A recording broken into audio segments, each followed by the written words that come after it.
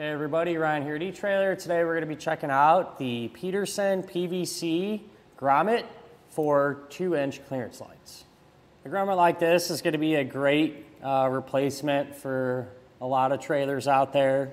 Um, you know, whether you're going through kind of updating everything, freshening it all up, or just, you know, needing a replacement in general, this will work out. So a good example today, we have this type of bracket all the stuff was missing. This thing was all bent in. I'm assuming something hit it, broke everything, and it kind of just fell apart. So we need to get all of our lights going again and to get us back on the road. And if you want to use a replacement light like this, it's going to need something to, somewhere to sit, something to hold it in place. And that's where this grommet is going to come into play. You know, it'll hold that light and allow you to mount it up to your trailer and get you going.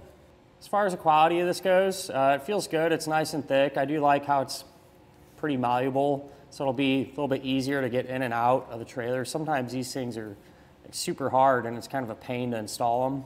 It's not really the case with this one. Uh, in terms of what this is going to work with, so you have your two inch round lights, whether they're amber, red, or whatever, those are going to pop in there. And it's a pretty tight fit. Uh, it holds that light good. The overall size of it, two and three quarters of an inch. And the part that's actually going to go into the opening, they say that's 2.32. Um, a lot of times, from my experience, these openings will be two and uh, one quarter of an inch on a lot of trailers. And having that little bit bigger diameter there allows it to kind of push in and get a good bite. And this bracket too, like I said, it's kind of beat up.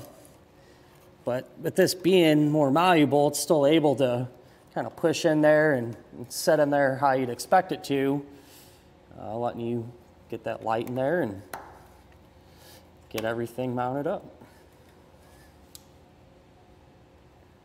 Other than that though, not really a whole lot to it. You know, uh, it's well made and it's gonna be a great direct replacement for those of you out there that are trying to get your trailer up and going again.